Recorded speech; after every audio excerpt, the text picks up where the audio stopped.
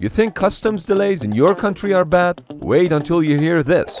During the deployment of a carrier strike group, which could take up to 10 months at sea, parts could break and critical systems may experience malfunctions, requiring outside contractors' expertise. To transport a part or a contractor to the carrier strike group, the US Navy relies on carrier onboard delivery. The last mile of the delivery is typically completed using a Grumman C2, which can land on the aircraft carrier. But that last mile can take a long time.